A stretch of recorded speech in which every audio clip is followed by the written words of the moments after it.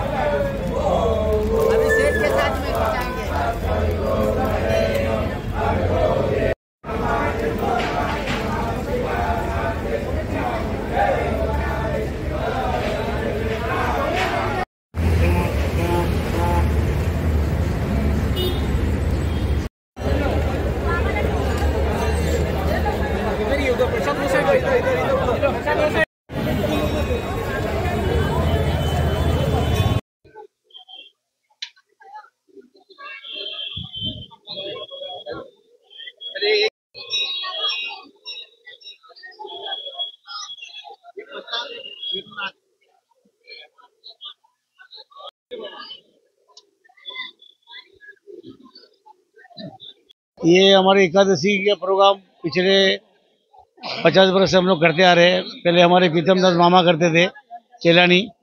अभी जब से मेरे को दिया है, आज मेरे को पैंतीस वर्ष हो गया है। ये सब सेवा करता हूँ, अपनी होती है।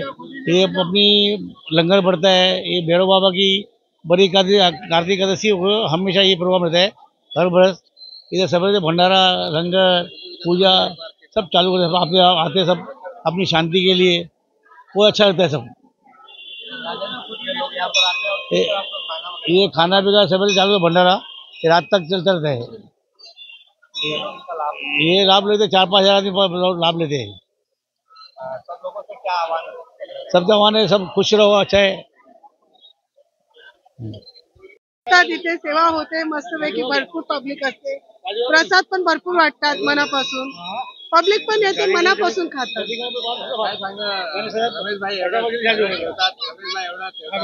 हा रमेश भाईच सर्व अरेंजमेंट असतं. रमेश. हा ते सर्व मस्त म्हणजे खायला प्यायला देतात. दिवाळी हर एक वर्ष चांगलं. मंदिरामध्ये पुण्याचं काम करतात ते लोक.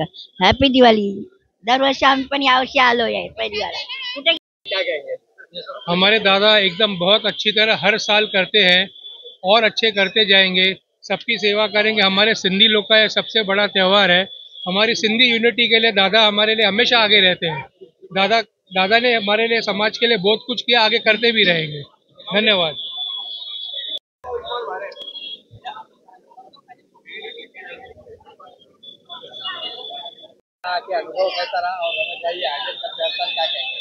सही बताओ मुंबई में तो जन्म हुआ है, लेकिन आज तक ऐसे मौके में आने का मौका नहीं मिला है। आज इतने चालीस सालों के बाद में मैं, आज मैं आई हूँ और मुझे ये अनुभव मिला है कि यहाँ पर जो आज खुशी और उनका आशीर्वाद और उनका जिस तरह से सेवा देख रहे हैं, जिस तरह से खाना पीना सबका सेवा दे रहे हैं, प्रसादी का भोग लगा रहे बहुत आत्मा खुश हुआ है कि इस तरह से परंपरा हमारे यहाँ पर भैरव जी का पूजा की जाती है ना। और और क्या कहूँ मैं, शमशान भूमि में हम लोग बैठे हैं, यहाँ हमारी आत्मा शांति आज लगा और बहुत खुशी मिला। सबसे पहले तो रमेश भाई को हम नतमस्तक प्रणाम बोलेंगे कि इनके पूरे टीम को धन्यवाद बोलेंगे कि हमारे जीवन में फ़र्स्ट टाइम हुआ है। पता नहीं कृपा उनकी, भैरव बाबा की है और तुलसी पूजन भी है, भैरव बाबा की पूजा भी है। हम ये भाषा बोल सकते हैं कि शमशान की पूजा भी हम कर रहे हैं। जहाँ अंतिम दर्शन के लोग आते हैं तो उनकी दर्शन हम कर रहे हैं। बहुत बहुत धन्यवाद और बहुत आत्मा को शांति मिली आके कि मेरे जीवन में फ़र्स्ट पूजा था, जो कहीं नहीं कि इनको धन्यवाद बोलेंगे, इनको टीम को धन्यवाद बोलेंगे, कि और यहाँ ठक्कर पा के लोग लगा कि सब अपने लोग ही है।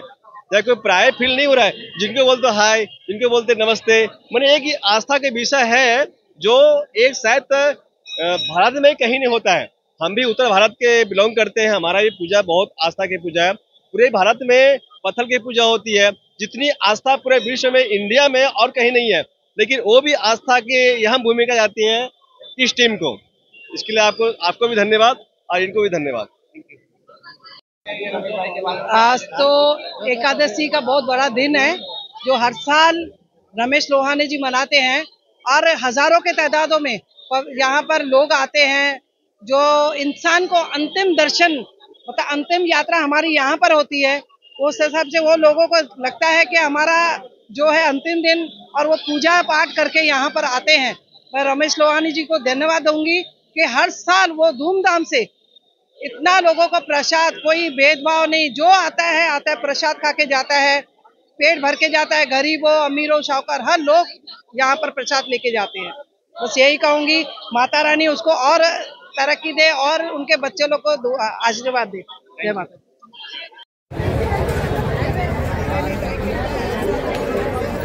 यार रिचुअल बहुत है मेरे पास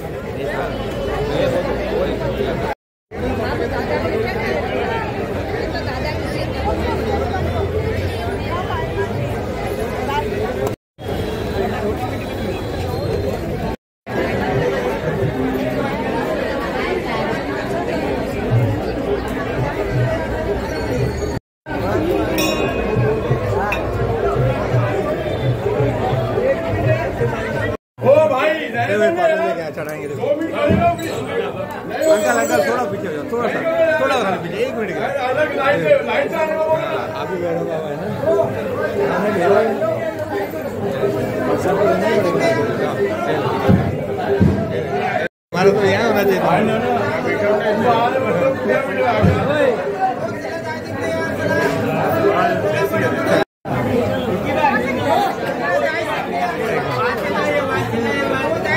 एक मिनट पीछे अरे माउली सर आए पीछे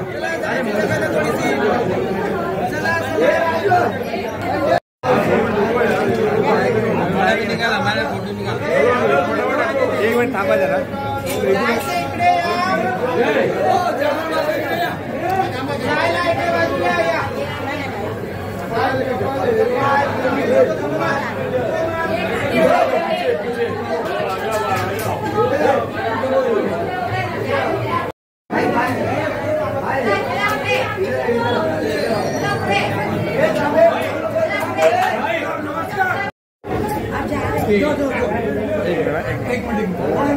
एक मिनिट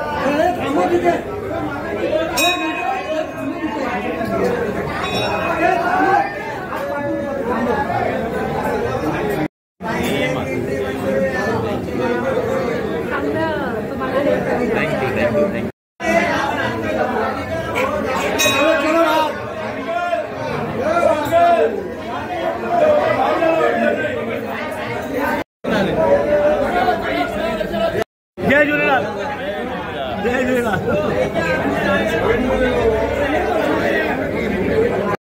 से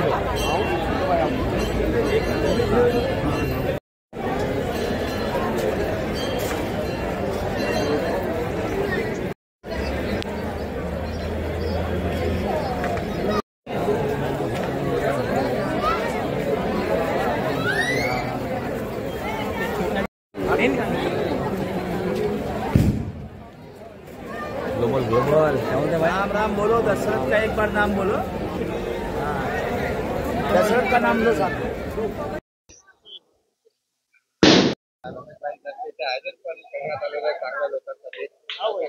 आज कार्तिकी एकादशी आहे. त्यानिमित्त मी सर्वांना शुभेच्छा देतो.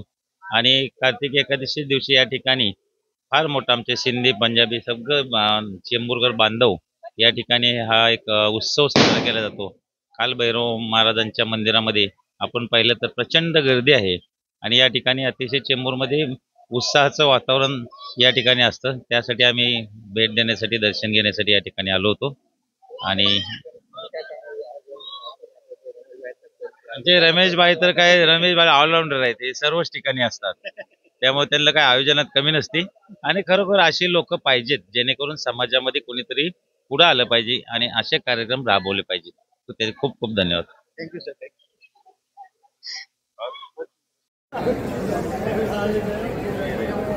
हमेशा शेड लगाए करेंगे करेंगे। वो आप तो वैसे भी करते थे। वो इससे कुछ खराब हो गया था आपने आके उधर सीमेंट लगाई।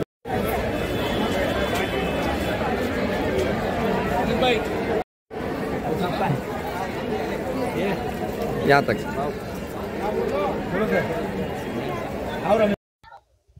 आज एकादशी का पावन दिन है।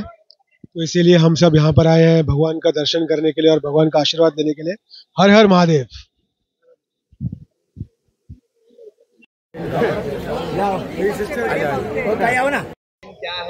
एकादशी है।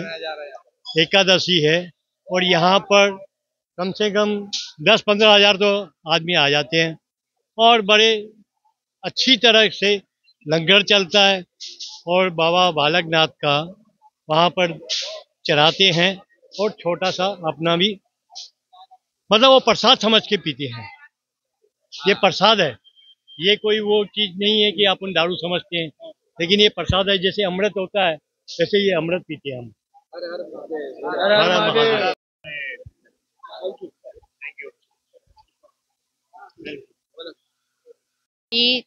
एकादशी है, जो बड़ी एकादशी मानी जाती है देव उठवनी एकादशी है। इसमें हम लोग यहाँ पे आते हैं शमशान में। हमारे भैरव जी का हम लोग अभिषेक करते हैं इससे।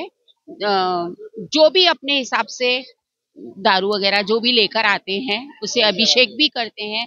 वो जल की तरह चढ़ाते हैं और उसको ग्रहण भी करते हैं, ये शमशान में फेरे लगाते हैं, उससे ये बोलते और उस पे तिल छोड़ते जाते हैं।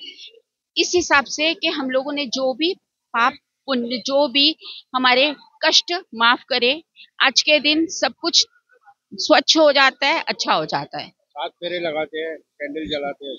करिएगा। हाँ करें करें। जो है एडिट एकादशी का त्योहार मनाया जा रहा है। हर साल इतना खूबसूरत इतना अच्छा एकादशी का त्योहार मनाया जाता है। लोग देखते हो आप करोड़ों में हज़ारों में रहते हैं। अभी इससे अच्छी बात और क्या बोलूँ? थैंक यू जय माता दी सबसे बड़ा कृष्ण भगवान का त्योहार है। एकादशी का बहुत बड़ा त्योहार है, दिवाली के बाद। और आज है ना, महिलाएँ, बच्चे, पुरुष सब है ना, आज है ना, एकादशी के लिए ना, शमशान घाट के अंदर आने के लिए ऐसे त्योहार बनाने चाह रहे हैं, जैसे दिवाली का कोई त्योहार है ये। और महिला पहले कम होती थी, आज महिलाएँ ज़्यादा दिखाई दे रही है। ऐसा लगता है महिलाएँ के अंदर कि एक जोश आ गया कि जो कुछ है अपने समाज के अंदर जो एक एकादशी का जो त्योहार है सबसे बड़ा त्योहार यही है मेरे हिसाब से। मैं चाहता हूँ कि आप है ना जैसे ये युवा आ रहे हैं और महिलाएँ आ रहे हैं ऐसे महिलाएँ को एक, एक संदेश देना चाहता हूँ महिला जी आप ना भर चक के ये भाग ले और पूरा ना यहाँ के एक दस्ती का त्यौहार बनाए। महिलाएँ आज ना सबसे नंबर वन पे महिलाएँ आज के महिलाएँ को बहुत बहुत धन्यवाद। माता दी। आम्ही आमचं असं आहे की ह्या वेळी आम्ही खूप चांगले आमच्याकडे कार्यक्रम होतोय आणि दरवर्षीप्रमाणे असाच कार्यक्रम राहील. आणि आमची आई जागृत या ठिकाणी आहे. जय चंडमुंड समशानी महाकाली माते की जय. थँक्यू